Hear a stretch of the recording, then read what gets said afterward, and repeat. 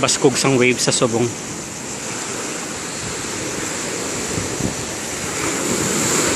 So I can probably swim